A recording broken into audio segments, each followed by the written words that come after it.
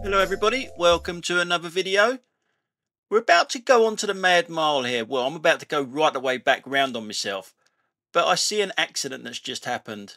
Do you actually try and work out what the hell has happened when you see an accident? I sometimes do.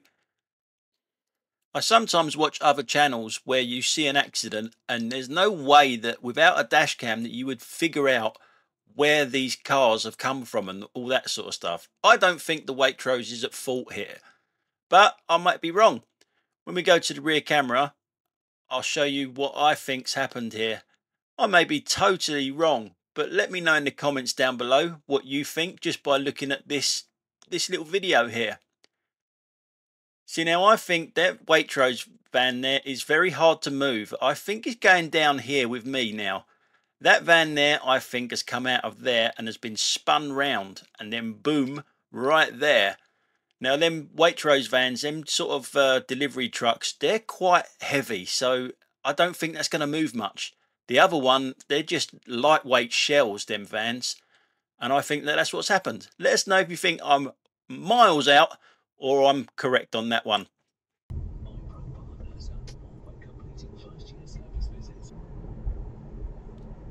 This is me coming down the same road to go onto the Mad Mile. Six minutes later. No, there isn't another crash. They've moved them over to the side now. But there's two vans now. His mate's turned up. Bit of moral support. Or maybe he's saying to him it is priority to traffic approaching from the right. But now we're looking at this Fiat in front of us. Yep, the apprenticed Audi driver. Yes, the car in front of it is lane hogging and shouldn't be there but two wrongs don't make a right. They never do.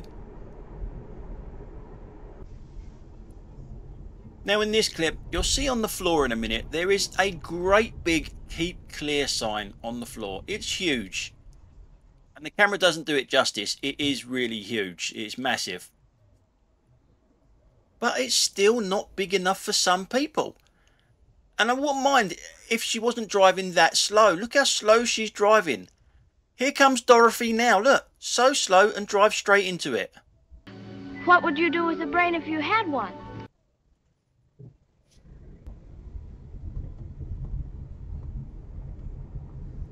So as we come round the corner, I notice something else here. Two lanes go into one here.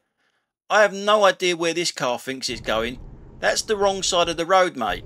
It's only quarter to ten and I've already had enough. I have already had enough with people doing daft things and I'm very cheerful. As you can see there's a car badly parked on double yellow lines and a Rod Stewart wannabe walking away from it. A good bit of parking mate, good bit of parking. Nice fucking purple trousers as well you moron. I told you I was in a happy mood. It's time for a guessing game. As you can see I'm about to pull up to this red light. When it turns green there's a car behind me that literally uses the horn after about oh half a second. So all you've got to do is guess the make of car that's behind me. That's all it is. It's not that difficult. All you've got to remember is who are the most self-entitled, impatient, snot-gobbling morons on the road at the moment and you will come up with the answer. So watch the green light and listen out for the horn. It's probably about a second before it bibs.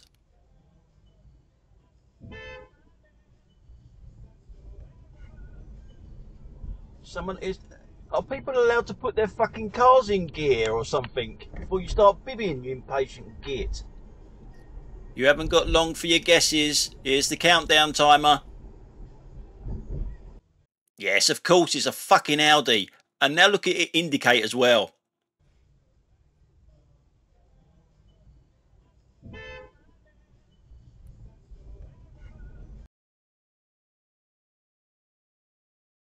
Always an Audi. Now bear in mind, all the clips you've seen so far is all on one day. And you sort of like think, I can't see any more idiots, can I? Well, I can. There's Epsom Racecourse to our right hand side. The car in front of me seems to think it's a jockey and riding a horse because it wants to turn right and go onto the racecourse.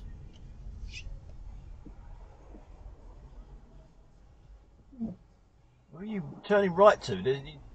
Going onto the racecourse itself. There is no right turn.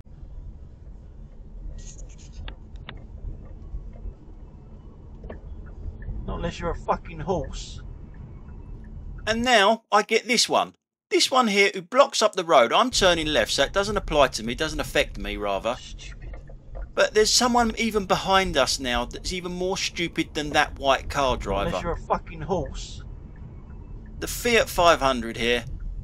You've seen the situation. Why make it worse? Really? Look at that. How stupid can you be, you lot?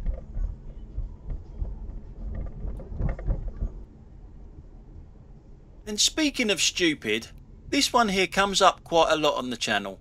When you see a sign like that, you can be in that lane, but when you see someone indicating right in front of you, why would you go behind it?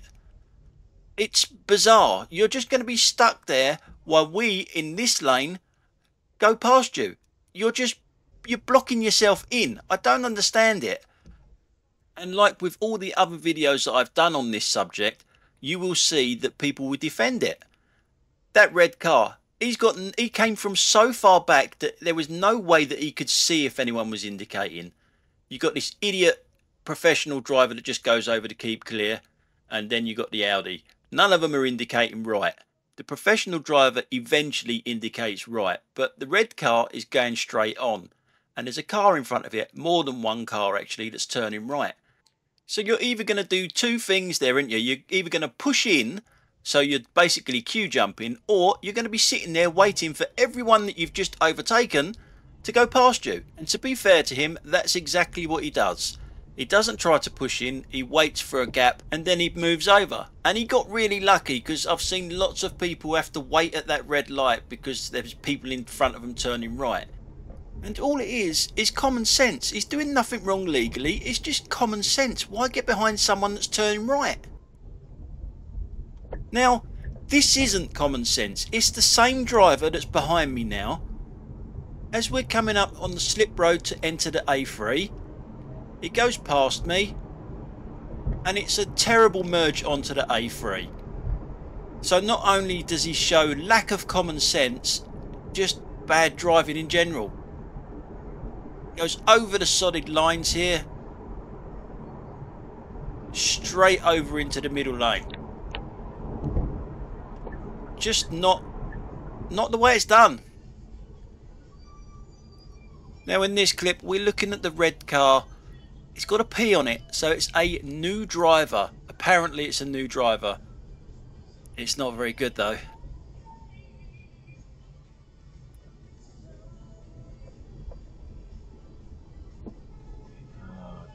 God.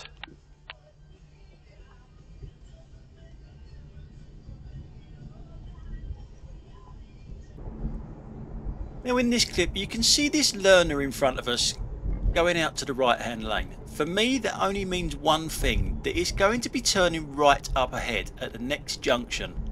So move over to the left. It's quite simple. Even when it starts indicating, no one moves over to the left. If you look up there in the distance, there is another learner that's doing exactly the same thing, that's turning right at the traffic lights. But no one is actually moving over to the left. Again, it's bizarre. Why would you get behind someone that is turning right? Even professional drivers, this great big lorry next to me is going straight on and it won't be able to because there's at least two learners up there that's turning right. Now he should be able to see over the top of everyone to see them indicators. Again, you're doing nothing wrong being behind them, but it's just common sense. You're just going to be waiting there.